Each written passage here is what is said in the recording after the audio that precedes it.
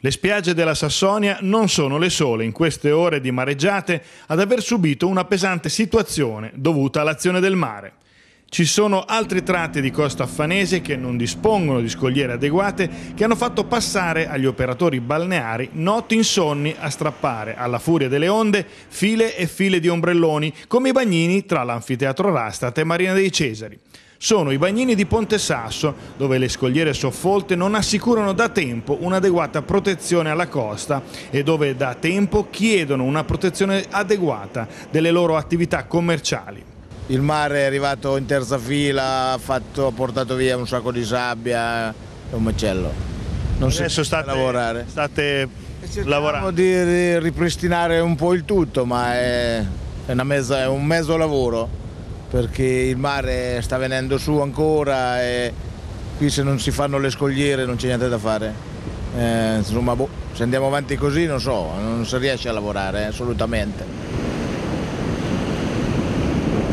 Ore e mattinate diverse da quelle che dovrebbero essere normalmente. Eh, sì, perché anziché essere pieno di clienti è pieno di bagnini che per rimettere a posto il tutto. Come tutti gli anni lavoriamo tanto per mettere tutto quanto preciso e basta 4 ore di mareggiata, minima poi neanche una cosa grossa, per eh, rovinare tutto il lavoro di, di mesi cosa vorreste? Visto che noi abbiamo pagato anche la progettazione per queste scogliere che vengano fatte, anche perché non, non, non, non si può andare avanti in questa maniera questa.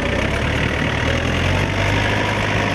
Inoltre questa mareggiata non ha agitato solo le onde del mare, ma ha montato anche la polemica sulla futura pista ciclabile che dovrà sorgere proprio lungo la costa e che porterà via metri di concessione e quindi ombrelloni ai bagnini che chiedono di riguadagnare metri di battigia con le scogliere prima di sacrificare sull'altare della mobilità verde i loro spazi lavorativi. Come si dice, le case si fanno dalle fondamenta e non dal tetto, perciò prima si fanno le scogliere, poi si, fanno, si fa la ciclabile ciclabile, è una cosa più logica anche perché se il mare mi porta via gli ombrelloni, la ciclabile mi porta via gli ombrelloni, o siamo qui per passare il tempo o mi invitano a mangiare tutti i giorni a me e la mia famiglia, perché se no si va avanti.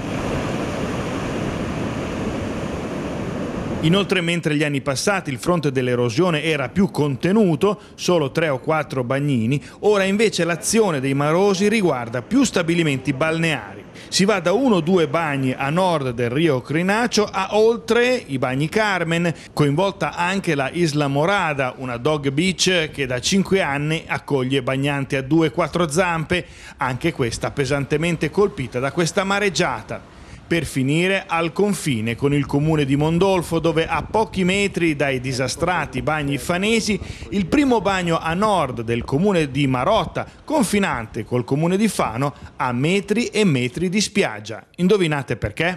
Ecco cosa succede con una scogliera ben fatta.